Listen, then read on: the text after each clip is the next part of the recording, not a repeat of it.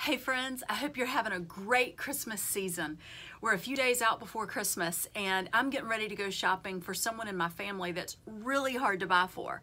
And we all probably have that person in our family that um, you know, they're just, they have everything and they're hard to buy for. Well, this particular person, anytime we buy Christmas presents for her or birthday presents for her, y'all, I kid you not, she comes up with some reason why it doesn't work.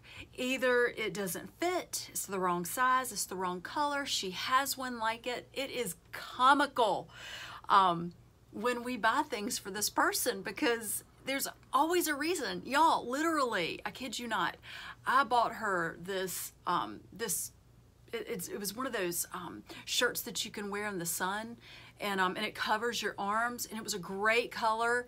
Um, it was a little expensive even. I bought this for her for her birthday because she loves to be out in the sun. And two months later, she gave it back to me and she said, you know, I have one just like it. I really don't need it. and you're like, I thought I had a good gift for you. Anyway, so now I'm wearing the gift that I bought for her. Anyway, all that to say is it got me thinking about gifts our husband buys for us at Christmas.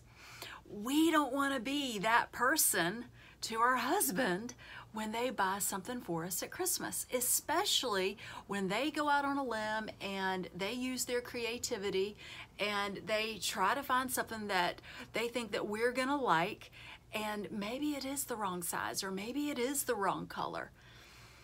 I know you probably already know this, but I just want to encourage you. It is insulting. Like when this person that I've just described to you, like I- am waiting already. So I'm going to go buy her a gift in just a few minutes.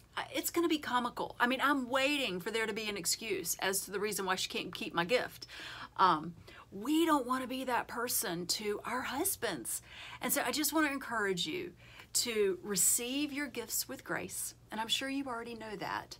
But just be very aware of your responses to the gifts that your husband gives you or to the gifts or gift that your husband gives you for Christmas.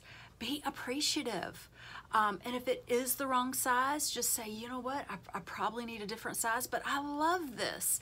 Encourage them because if we want more gifts in the future, we've got to be girls that love getting their gifts.